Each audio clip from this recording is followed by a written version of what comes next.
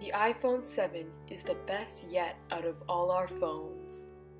And we don't say this about every phone. We took away that ultra clear high definition screen to give you a very duller screen because many people's eyes were getting irritated.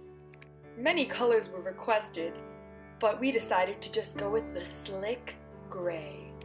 And after many requests to be able to customize your iPhone, we came up with the Apple Pencil. The Apple Pencil is a revolutionary pencil which can write on your iPhone. This provides the user to write whatever they want on their iPhone, and every writing can easily be erased with the Apple Eraser. One of our favorite uses of the iPhone 7 would be its enormous size. Its great size provides a beautiful display in which you can use new apps, including Body Time. Users can see their whole body when they video chat with someone. As an Apple creator, we wanted our device to be versatile in a fashion. So with your device, we have added the beautiful Apple Sack.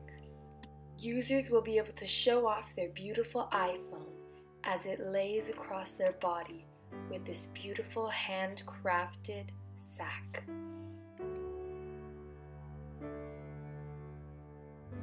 Upgrade to the iPhone 7 today, starting at $1,999.